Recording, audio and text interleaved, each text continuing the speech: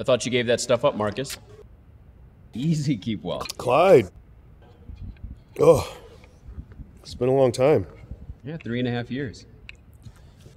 I see you haven't let this place change one bit since my last show. Oh, I don't usually get the opportunity to, to, to see it from a seat. I like to come out here sometimes when it's quiet to soak it all in. Stop it. Stop it. Came to congratulate you.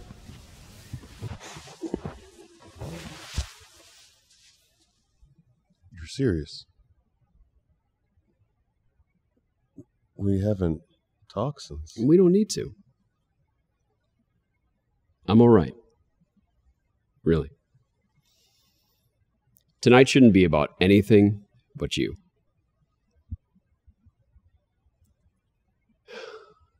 Twenty years. That's a long time. It's blown by. Sometimes I have to sit here to force some clear memories. Everything tends to blur together now. I bet that doesn't help the memories stay clear, does it? Truthfully, I haven't had a drink since the last time I saw you. I'm sorry, Clyde. I can't sit here and not bring it up, not talk about it. If I can go back to that night,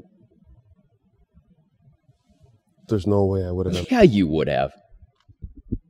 Look, if you're going to apologize, you don't have to lie about it. You had a problem, Marcus. You knew it, we all knew it. I've thought a lot about this conversation since that night. I knew that's one of the first things you would say.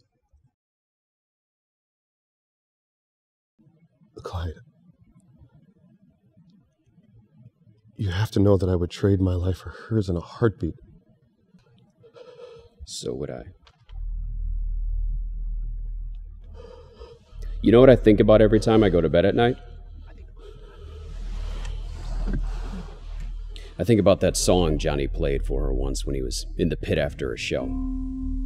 She danced and danced and told all of us that she'd be a prima ballerina on the stage someday. I can still hear it clear as day. It's not a sad memory, though.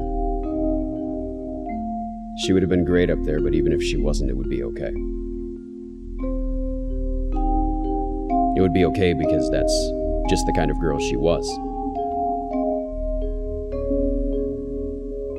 When we'd play a game and she couldn't figure out how to beat me, or if I wasn't feeling so great after a performance, she'd come up to me, she'd look up at me, and she'd say, It's okay, Daddy. As long as we're having fun, who cares?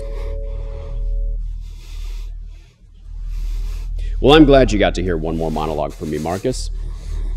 I know you always used to love seeing me perform. You're predictable. I knew what you'd say before you said it. I knew you kept that flask of booze hidden. And I knew that eventually the guilt you felt for murdering my daughter wouldn't outweigh your desire to forget your miserable existence for one more night.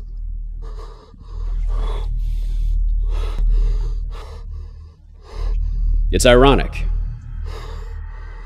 You took the one thing I love,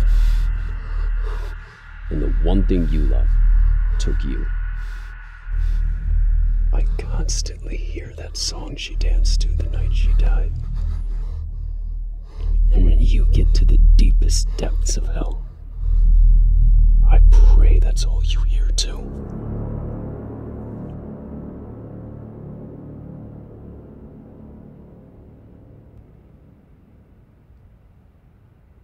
Congrats on 20 years, caretaker.